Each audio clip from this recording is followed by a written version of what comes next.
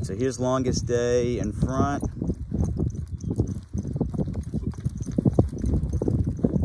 And here is Bassanio, bated breath.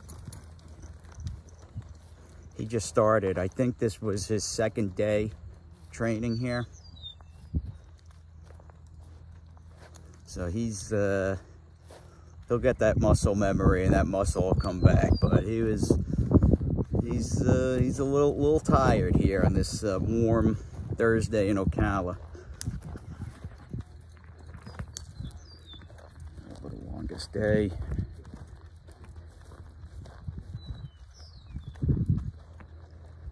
Bassanio. Who, by the way, speaking of Bassanio, we still have some limited limited space on him. Man, he's a good-looking, big, big son of a gun, isn't he? We've got some uh, space. So, give me a ring. If you want a piece of him. Uh, two, two nice turf horses moving forward with the Clements him back, get bathed and have a little breakfast.